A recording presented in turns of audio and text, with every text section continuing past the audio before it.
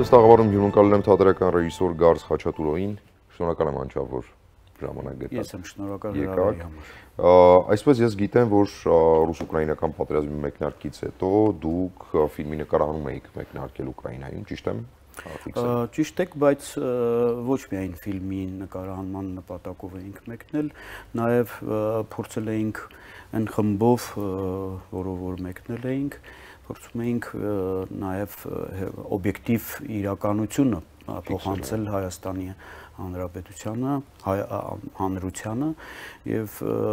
դա էր պատճառը, որ իբրեսայեմի հետ, անկախ լրագրողների ցանցի հետ Յուրա Մանվելյանի, Տիգրանի հետ Խաչատրյան որոշեցինք, որ ես այդ հանձնառությունը կվերցնեմ իմ վրա։ Շատ բարի, շատ շատ կարևոր է, որովհետև մենք չենք չենք ամբողջությամբ մեր հասարակությունը չի գիտակցում թե ինչ մոտիվներով է ուկրաինական հասարակությունը հիմա պայքարում իր տարածքային ամբողջականության, անկախության, պետականության համար երբ պատերազմի ամենասկզբում ռուսները շորի ընթացքում հասան գրեթե Կիև, Հայաստանում սեփական ուժերի նկատմամբ մի երուն բաներ առաջացել, որ տեսեք, տեսեք մենք 44 օր դիմացանք, բայց օր օրուկեսում ռուսները հասան Կիև, հետեւապես հայերը փաստորեն ավելի տոկուն եւ ամուր դուրս եկան իրենց հողի պաշտպանության հարցում, քան ուկրաինացիները, բայց ամիսներ շարունակ արդեն այս պատերազմը շարունակվում է։ Ուկրաինացիները ցուցադրում են համառ կամք իրենց երկիրը պաշտպանելու, ու հարց է առաջանում. Եթե մենք անդադար խոսում ենք հազարավոր տարիների պատմություն մշակույթ ինքնություն ունենալու մասին իսկ ուկրաինացիները վստահաբար այդ ինքնությունը չունեն հազարավոր տարիների եւ այդ պատմությունն էլ չունեն հազարավոր տարիների ապա ինչպես է ստացվում որ այս նորաթուխ Հայաստանի հետ համեմատած նորաթուխ ժողովուրդը կամ ազգը կամ ազգությունը ազգը որովհետեւ հիմա ձևավորվում է պատերազմի դաշտում ինչպես ստացվեց որ ավելի կամային դուրս եկավ քան մենք որոնք հիմա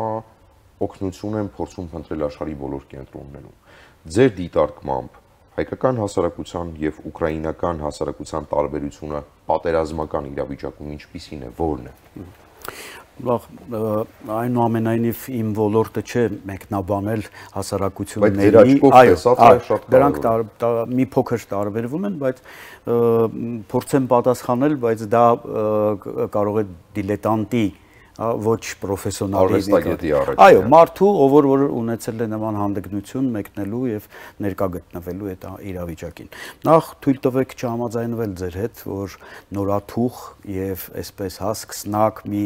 ազգի եւ պետության հետ գործ ունենք մասնավորապես մենք մոտավորապես 1500 տարու տարվա պատմություն ունենք Ուկրաինայում այդ տարածքում եւ մասնավորապես ուկրաինացիների հետ։ Դրա վառապացույցն է, ասենք, այնպիսի փաստերից մեկը, որ Սաֆիա Կիևսկայա այդ համալիրում ժամանակին, երբ որ հայկական եկեղեցին 11-րդ դարում այրվել է, ուկրաինական ուղափառ եկեղեցին տրամադրել է հայ եկեղեցում մի հատված, այդ հա զգալի իրենց հատվածում եւ թույլատրել է իր բոլոր եկեղեցական ծիսակարգերով ու ավանդույթներով այնտեղ երկարաժամկետ գոյատևել։ Այնտեղ հիմա նույնպես որպես թանգարան եւ արգելոց է գործում եւ այնտեղ մասնավորապես հայ գիտնականներ են աշխատել ժամանակին եւ վերցանել են մի շարք հա գրություններ, բաներ, մի քանի հազարավոր, տասնյակ հազարավոր գրություններ են վերցանել եւ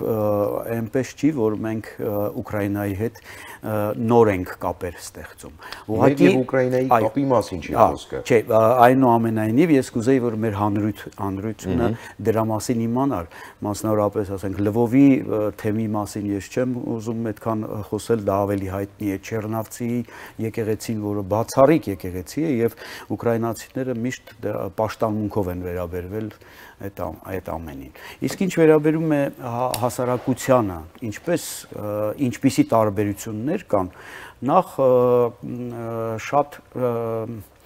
ընդգծված է մի մի հանգամանք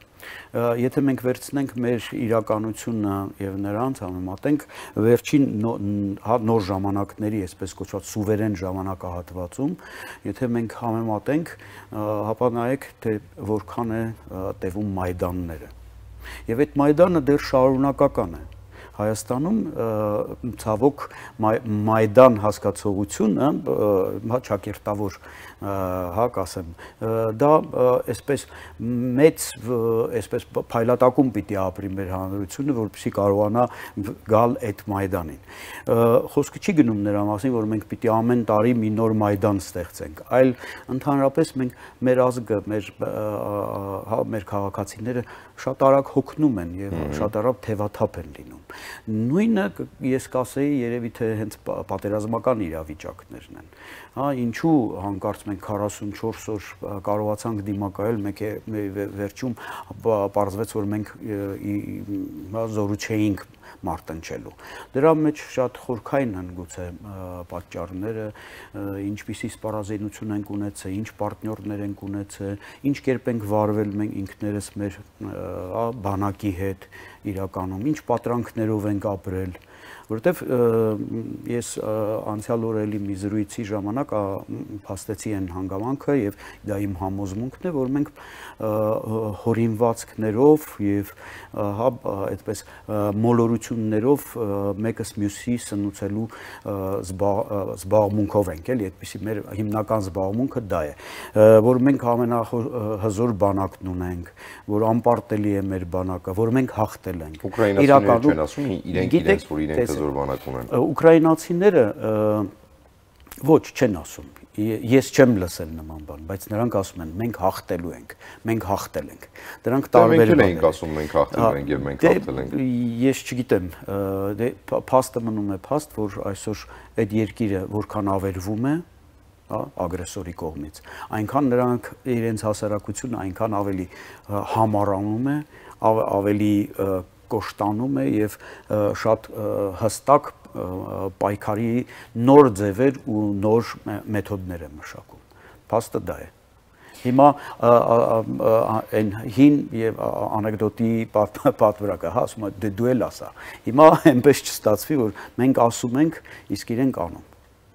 Դե փաստը մնում է փաստ, որ իրենք անում են, իսկ մեզ մոտ ամբողջությամբ համաձայն են, որ Իրական ժամանակ մենք իրականությունից կտրված ենք եղել եւ միֆերի վրա ենք ապրել, այո, 94 թվականի երադատարից հետո Հայաստանի հասարակությունը զգաց հաղթանակի քաղցրությունը թեպետ այդ հաղթանակը կռել են ամբողջ հասարակությունը չի որ այդ հաղթանակը կռել է շատերը պարզապես անկախացումից հետո թողել հեռացել են Հայաստանից շատերը անտարբեր են եղել մենք հիմա ենք ասում որ հասարակությունն է հաղթել Արցախյան առաջին պատերազմը բայց այդ Արցախյան առաջին պատերազմը հաղթել են ֆանատիկները սա էլ անկեղծ լինենք բայց հետո իհարկե ամբողջ հասարակությունը վերագրել է այդ հաղթանակը իրեն եւ դա ճշմարիտ է եւ այդպես տեղի ունենում բոլոր հասարակություններում։ Այստեղ տարօրինակն այն է, որ կոնսոլիդացիան ուկրաինական հասարակության մեջ անհամեմատ ավելի արագ տեղի ունեցել իսկ մեր հասարակության մեջ հիմա պայքարի կոնսոլիդացիան նույնքան արագ տեղի չի ունենում ընդհակառակը տպավորություն է որ եթե նույնականացնենք հայ հասարակությունը մարդու հետ սա մի ձերկին է, պարավկին է, որը հիվանդ է, որի թորները թողել հեռացել են արտերկիր, ինքը ունի մի կիսափուլ տնակ քաղաքի արվարձաններից մեկում, ստանում է աննշան թոշակ, որը բավարարում է միմիային որոշակի դեղերի, օրինակ ԵՄ պատվիրակության հաբ, ԵԱՀԿ պատվիրակության հաբ, փոքրիկ դեղեր, որոնք պարզապես իրեն թույլ են տալիս եւս մի օր ապրել, եւս մի օր մի կտոր հաց ուտելու։ Արդյոք նման տպավորություն չի ստեղծվում, որ Ուկրաինան իր հասարակությամբ երիտասարդ առույգ մարդ է, որը պատրաստ է իր իրավունքների համար ջարդել իրենից ավելի խոշոր մեկի գլուխը, իսկ Հայաստանը մի ծեր, անպաշտպան, միայնակ մնացած պարավքին։ Նման տպավորություն ձեզ մոտ չի ստեղծվել այս երկու հասարակությունները դիտարկելու ժամանակ։ Նախ թույլ տվեք չհամաձայնվել, որ մենք հաղթել ենք 90-ական թվականներին մենք հենց պատրանքը սկսվում է այդտեղից, որ մենք հաղթել ենք հրադադարի պայմանագիրը տրամաբանական էր, որ պիտի լիներ եւ դա դա եղել է մի մի པարս պատճառով թե ինչ մեխանիզմներով պիտի վերադարձվեն այդ գրավյալ տարածքները որը որ մեր էլիտան քաղաքական փորձել է տարիներ շարունակ մինչև օրս հա այսպես շրջանցելու եւ մանիպուլացնելու ինչ որ ձևերով հա քյոլելու հա, այսպես ֆրացնելու ես ավելի հարմար բարակապակցություններ չեմ կարողանում գտնել, որովհետև երբ որ մանիպուլյացիայի են ենթարկում, դա քաղաքական ինչ որ բան է, բայց այս դեպքում մենք փորձել ենք միշտ շրջանցել, էլի ֆրացնելու եղանակով անել։ Ինչ վերաբերում է այդ համեմատականին, դուք երևի որ համեմատում եք ավելի լավ եք պատկերացնում, մի քիչ կդժվարանամ ես նույնականացնել, բայց ինձ թվում է մի քիչ ավելի խորը բաների մեջ է, էլի դետալներում է դրանք։ Ես կարծում եմ դա այ օրինակ ինչ ինչ ինչ պատրանքներով ու ինչ երազանքներով են ապրում հայ իրականության մեջ եւ որը որ կարողացավ ուկրաինական հասարակությունը կարծես թե թոթափել իրենից մեր հասարակությունը անկախ նրանց սերնդային հա, տարբերությունից ապրում է պարբերաբար եւ դա նորացնում է իր անցյալով։ Երբևէ մենք չենք խոսում մեր ներկայի մասին, մենք չենք մտահոգվում մեր ներկայի եւ ապագայի մասին։ Մեր ամբողջ հա այդպես խոսույթ ամբողջությամբ անցյալի անցյալին վերաբերյալ է մենք ինչ ձեռքի բերումներ ենք ունեցի, ինչպիսի ազգ ենք եղել, ինչպիսի մշակույթ, ինչպիսի գիտություն եւ այսպես բարբերաբար անում Մեր հասարակությունը դեռ իրեն չի ուզում օտարել սովետիզացման այդ այդ այդ խնդրից։ Դա է պատճառը, որ երկար տարիներ մեր հասարակության համար աշտամունք էին, հա, ռուսական բանակը, ռուսական իշխանությունները, մասնավորապես նրանց լիդերը Պուտինը, որովհետև այն հենց այդ ռուսական իշխանության այսօրվա իշխանության ղեկավարությունը նույնպես դրանք նեոբոլշևիզմի, չեկիզմի վերարտադրությունն են ուզում անել վերարտադրություն։ Նրանք նույնպես անցյալում են ապրում։ Եվ դա է պատճառը, որ մենք ինչ որ կերպ հենց ընտրել ենք եւ մեր հասարակությունը դրան դրական վերաբերմունք է ցույց տալիս։ չէ խորհրդային միության մեջ։ Այո, բայց Ուկրաինան, տեսեք, երբ որ մի անգամ դու առնչվում ես խնդրի հետ, եւ այսպես հա քթիթ առնում ես, փորձում ես դրանից դասեր քաղել Ուկրաինան նույնպես բոլոր այդ մայդաններով անցնելիս, հա, ի վերջո նորից եկավ, հա, պրոռուսական մի նախագահ, հա, Յանուկովիչը Բերեցին։ Բերեցին։ Ես մեխանիզմների մասին չեմ խոսում, հայտնվեց եւ տեսեք եւ մի զգալի հատված, նույնիսկ մինչեւ վերջին ժամանակահատվածները, մինչեւ պատերազմի կոնկրետ հա ռազմական գործողությունների սկիզբը կային պրոռուսական եւ քաղաքական թևեր եւ նաեւ բնակչության մեջ կային մարդիկ, որոնք որ համարում էին, որ իրենց ապագան Ռուսաստանի հետ է կապվում, բայց հենց առաջին իսկ ռմբակոծություններից հետո այդ ամբողջությամբ օտարացան այդ նախքին իրենց մտայնություններից ու վերաբերմունքներից։ Իսկ մեր հասարակությունը դեռ մինչև հիմա հասկանում է, հայոյում է հապկը, որ չի կարողանում մեզ օգտակար լինել, որ մեր պարտներները ամենևին մեզ պարտներ չեն, բայց միևնույնն է ասում է, իսկ ինչ անենք Այսինքն միշտ որպես կանոն իր անելիքը միշտ դնում է օտարի վրա, այլ մեկ հա կողմնակի մի այլ ուժի վրա, որ հիմա կգա ինչ որ մեկը եւ մեր համար ինչ որ մի մի բան կանի մեր համար։ Դա էր պատճառը, որ նաեւ մեր իշխանությունները ժամանակին մտածում էին, որ քանի որ մենք ընտրել ենք դեմոկրատական, ժողովրդավարական ուղի, ինչպիսին եւ կայինք, հա, ես չեմ ասում դա դա այդպես չի եղել եւ աշխարհը թույլ չի տա որպիսի տոտալիտար եւ բռնապետ Ալիևը հարցակում գործի Հայաստանի վրա Այսինքն այդ դա էլ պատրանքների շարքից էր։ Եվ հիմա մենք կարծում եմ դեռ այդ դրանք ես չգիտեմ քաղաքագիտական խնդիրներ չեն, դա մեր կենցաղն է, մեր մշակույթն է, մեր ներկայիս մշակույթը, մշակութաբանական խնդիրներ են, որոնք պիտի գուցե մասնագետներ էլի աշխատեն, որpիսի դրանք ներդրվեն մեր դպրոցները։ Այսօր մեր դպրոցները էլի նորից էլի երգում են այդ հայրենասիրական, պսևդո հայրենասիրական երգերը։ Ոչ մեկ չի մեր երեխաներին դաստիարակում այնպիսի գաղափարներով, որ շենացնեն, զորացնեն երկիրը, ոչ միայն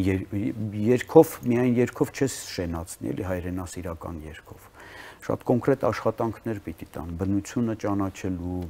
բնագիտությունը ճանաչելու, մեր երկիրը ճանաչելու։ Շատ հարցեր կան։ Ես իհարկե չունեմ դեր այդ հարցերի պատասխանալի արժեք, բայց ես հասկանում եմ, որ մենք սխալ ճանապարհով ենք գնում այսօր նույնիսկ այսօր հասկանալով, տեսեք մեր երկրում այսօր էլի ԵԱՏՄ հավաք է անցկացվում։ Մենք հասկացել ենք, չէ, որ այդ այդ միությունը, այդ կլուբ կոչվածը մեր համար ապագա չէ։ Խոսքը չի գնում նրա մասին, թե հավաքական արևմուտքը հիմա կա պատրաստ կազմող պատրաստ կանգնած է որ Հայաստանին ընթառաջի օգնի բայց պիտի հասկանանք չէ որ մենք մենակ ենք եւ գործենք մեր շահերը մենակությունից ելնելով դրանց պատասխանները իհարկե ես չեմ կարող տալ բայց ռազմավարությունը դրա վրա պիտի կառուցվի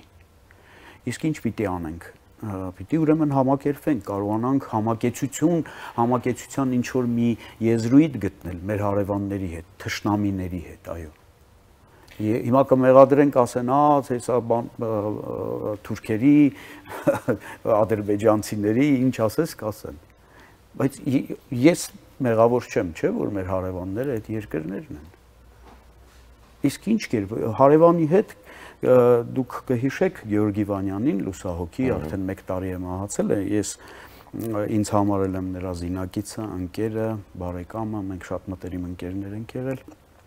ես հասարակական եւ քաղաքական գործունեությամբ երբեք չեմ զբաղվել, բայց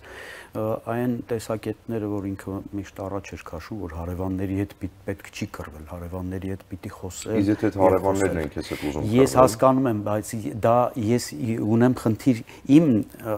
հանրության ներսում, հասկանում եք։ Շատ բան, ես ես չեմ կարող մտածել եւ եւ աշխատանք տանել նրանց մոտ։ Այնտեղ էլ կան մարդիկ, որոնք որ նմանատիպ քիչ են կազմում։ Օրինակ, ուկրաինացիները ձեզ ներողություն եմ խնդրում։ Ուկրաինացիների մեծ մասը տեսնելով թե ինչ վայրագություններով է Ռուսաստանը հարձակվում Ուկրաինայի վրա, առանց հաշվի առնելով քաղաքացիականը բնակչությունը թե չէ Բուչայի դեպքերը հաշվի առնելով Իզումի դեպքերը հաշվի առնելով ինչպես կարող է որևէ ռացիոնալ ուկրաինացի համարել որ գոնե թե այս փուլում հնարավոր է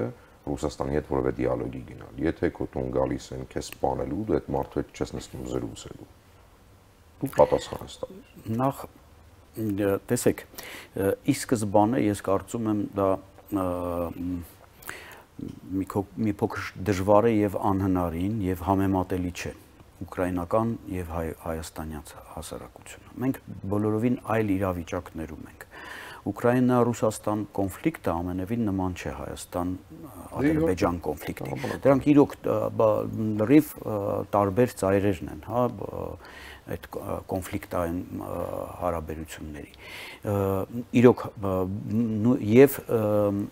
մեր կենցաղավարմամբ եւ բոլոր տեսակետներով հանդերձ։ Ինչ վերաբերում է եկան ավերեցին, ըհը Հիմա իսկ ինչ եք կարծում ադրբեջանցիները ուրիշ բան էին ասում, երբ որ մենք գրավյալ տարածքները, հա, նրանք համարում էին օկուպացված, մենք համարում էինք գրավյալ, բուֆերային գոտի, տարբեր բաներ։ Այդ ագրավյալ տարածքներում մենք չէինք թողել որևէ մի կտոր փայտ, փայտանյութ, բան, ամենը ամբողջությամբ ավերել էինք այդ բնակավայրերը։ Մենք դրա մասին չենք ուզում, չէ, բարձրաձայնել։ Հիմա Ուկրաինան էլ նույն խնդիրն է, բայց ի վերջո գալու է նույն ժաման մի ինչ որ մի ժամանակահատված, դա հեշտ չի լինելու, բայց նրանք դատապարտված են, որ ինչ որ մի օր նստեն, չէ, այդ իրենց հարևան ազգի։ Մանավանդ որ նրանք էթնիկական որոշ նմանություններ ունեն թեպետ սկսել են արդեն խոսել նրա մասին, որ ամենևին նման չեն։ Դա իրենց որոշելու խնդիրն է։ Այնուամենայնիվ շատ դժվար է լինելու ինչպես մեր համար է դժվար լինելու։ Իսկ ով ասաց, որ հեշտ պիտի լինի։ Հա, բայց նման զրույցները տեղի են փոխադարձ ցանկության հիման վրա։ Շատ լավ։ Մենք պիտի գտնենք, չէ՞, դիեզը։ Ով եթե դիմացին այդ ռազմավարությունը պետականությունը ոչնչացնելու։ Հիմա Հայաստանի պետականությունը Ադրբեջանը ուզում է ոչնչացնել։ Փաստացի, այո։ Փաստացի ես չգիտեմ նման փաստ, բայց որ ոտնձուգություն արվում է մեր տարածքների վրա։ Ինչպես չէ, գիտեք, եթե Իլհամ Ալիևը հայտարարում է Երևանը Երևանն է, նույն կերպ մենք նույն կերպ մենք Սևանե Գյոյչյան, ասենք ինչպես պիտի ուղի։ Եկեք մենք մենք արդեն ուրիշ ոլորտ ենք գնում։ Չէ, ոլորտ չէ, ես հստակ ուզում հասկանալ, որ դուք ասում ես որ դուք ասում եք հայտարարված չէ, Եվ չկա նման փաստ, որ է ոչնչացնել Հայաստանից։ Հայաստանը Ալիևը չէ, ով հա չի վերանալու այստեղից։ Հայաստանը լինելու է, Ալիևը ինչ արտահայտություններ էլ որ անի, դրանով Հայաստանը չի վերանալու։ Դա ինքը անում է հենց այն նկատառումներից ելնելով, որ մենք տարիներ շարունակ իրենց այնպիսի ցավ ենք պատճառել մենք էլ լավ չենք վարվել իրենց հետ։ Մենք միշտ սիրում ենք, չէ, նշել, որ մենք տարբերվում ենք իրենցից։ Բայց ըստ էության մենք նույնպես նրանց հետ շատ դաժանաբար ու շատ վատ ենք վարվել։ Որտեղ, երբ։ Որտեղ ամեն ամեն նույն բացում մոռացել եք։ Դա դե ոչ միայն, ոչ միայն։ Մենք գիտեք հիմա ես չեմ ուզում։ Ջեբրայելը համարել են ջրական։ Ես չեմ դնում նժարների վրա Ես չեմ դնում։ Ես հայ եմ եւ ակամայից պաշտպանում եմ իմ պետության շահերը բնականաբար։ Բայց ես խոսում եմ նրա մասին, որ նման երևույթներ մեր մեջ են եղել մենք օտա մեզանից հա այնպես մեզ այդպիսի բաներ այնպիսի բաներ ենք թույլ տվել հա մոռացել եք որ Բաքվում թե էինք ուզում խմենք որ հազար ու մի նման արտահայտություն դա չէ դա տեղի չէր ունենում երկեղեկավարի մակարդակով դա տեղի են ունենում ազատամարտիկների մակարդակով մինչդեռ Բասար Գեչարի չգիտեմ Գյոյչայի եւ Երևանի մասին խոսում է Ադրբեջանի առաջին դեմքը լիդերը Լավ, դրանով Երևանը վերանում է բայց ռազմավարություն կա Երևանը վերացնելու։ Միջդեռ Երևանը չուներ ռազմավարություն Բաքուն վերացնելու։ Դավիթ ջան, գիտեք, դա դուք մտնում եք մի բոլորովին այլ ոլորտ։ Ես մարդ եմ, ով ուզում է խաղաղ ապրել եւ ուզում է խաղացում չի նշանակում, չէ, արժանապատվությունից հրաժարվել։ Այո, անասնային, հա, այդպես անասնաբար գնալու, զոհաբերվելու նպատակ չունեմ եւ ընդհակառակը անհրաժեշտության դեպքում երևի թե ես ինքս ստիփած կլինեմ զենք վերցնելու։ Ինչին դեմ եմ բայց իմ նպատակը դա չէ։ Ես չեմ ուզում հիմա խորացնել մեր մեր հանրության ներսում մեր տարբերությունները, ռևանշիզմը, այո, ինչու՞ չէ։ Ես ուզում եմ, որ մեր հասարակությունը հիմա հասկանա, որ մենք դատապարտված ենք ապրելու կողք կողքի ադրբեջանցիների հետ։ Մենք ուրիշ ելք չունենք ինչպես նաև իրենք չունեն այլ։ Ես կարծում եմ պարզապես պետք է հասցնել են իրավիճակին, որ Ադրբեջանը հասկանում ինքը դատապարտված է ապրելու Հայաստանի կողքին։ Այո, այո, ինչու՞ հայերը համակերպեն, որ տեսեք, նաև հայերը պիտի դրանում։ Մենք փող իրար շատ նման ենք այդ առումով։ Նրանք էլ մեր մոտ մի քիչ ավել, նրանց մոտ մի քիչ պակաս, նրանց մոտ մի այլ հարցը ավել, մեր մոտ պակաս։ Նույնը լինելու է Ուկրաինայի դեպքում Ռուսաստանի հետ։ Վաղ թե ուշ նրանք նստելու են եւ փորձեն իրոք այդ այսպես կոչված զղջման մի մեծ ճանապարհ պիտի ապրի Ռուսաստանը եւ ընդ որում այդ հավաքական մեղավորության Փառք Աստծո մենք չունենք նման խնդիր հավաքական մեղավորության, որ հանրություն ամբողջությամբ իսկ Ռուսաստանի բարագայում իրոք դա շատ ավելի դաժան են վարվել մեկ-մեկու նկատմամբ Եվ բան հաջողում, պարզապես ներողություն եմ խնդրում։ Ամենավերջում փաստեմ, որ երբ մենք խոսում ենք մեր նմանությունների մասին, հայ ժողովուրդը, եթե անգամ որևէ բացասական միտում էլ եղել է հայ հասարակության մեջ, ենթադրաբար փաստում ենք 90-ականների սկզբի պատերազմի մասին, եթե ինչ-որ բացասական միտում էլ ամեն դեպքում տեղի ունեցել, մենք չմոռանանք, թե որն է եղել այն պատճառահետևանքային կապը, որը հանգեցրել է հայկական կողմի որոշ խմբերին կամ որոշ մարդկանց այս կամ այն վայրագությանը գնալ, եթե նման փաստ առհասարակ տեղի ունեցել։ Դավիթ ջան, ներողություն, ներողություն ես ընդհատում եմ ես չեմ մեղադրում իմ ժողովրդին կամ իմ հասարակությանը։ Ես խոսում եմ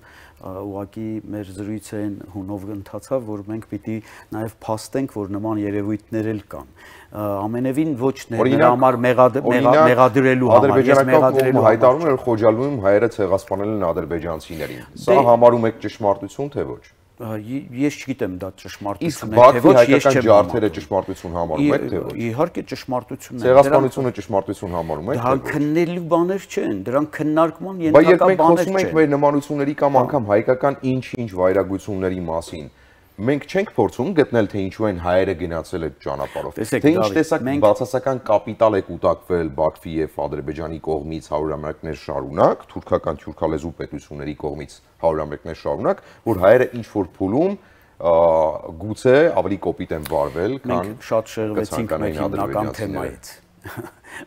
մեր այսօրվա թեման կարծես ռուս-ուկրաինական թեման էր, բայց այսպես անցանք հայ Դե մեր հասարակության մասին ենք խոսում, շատ չենք շեղվել, հաշվի առնելով այն փաստը, որ նաև մեր մեր հասարակության Բայց Դավիթ ջան, հաշվի առեք, որ ես ոչ քաղաքագետ եմ, ոչ քաղաքական գործիչ։ Մենք հիմա շփվում ենք, մենք հիմա շփվում ենք որպես երկու քաղաքացի։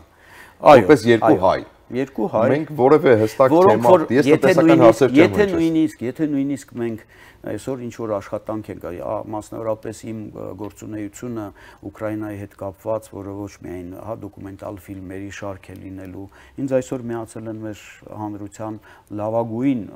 արվեստագետներ ու մտավորականներ, ովքեր հանձն են առել իմ հետ նաև շարունակելու, այդպես անելու դոկումենտալ ֆիլմերի շարք, նաև իմ մոտ մտահղացում կա հրապարակելու պատերազմական շրջանի, ասենք, Կիևի, Կիևի եւ Ուկրաինայի արձանները, թե ինչպես են դրանք թաքցնում, պահպանում, որպեսզի չվնասվեն։ Նաև այդ ռմբակոծություններից փրկված խաղալիքները, խաղահրապարակները, այդպիսի ալբոմների շարք Ես ուզում եմ, որ մենք ականատեսը կլինենք Ես կարծում եմ, կարծում եմ, եւ ուզում եմ նշեմ, որ ես դա չեմ անում Ռուս Ռուսաստանի կամ Ուկրաինայի համար կամ Ռուսաստանի դեմ։ Դա ես անում եմ, որպեսզի մեր հանրությունը, մեր հասարակությունը դա դրա դա ճանաչի, այնպես չի, որ մենք բան անելիք չունենք։ Մենք բաղագին անենք։ Այո, եւ կարծում եմ, որ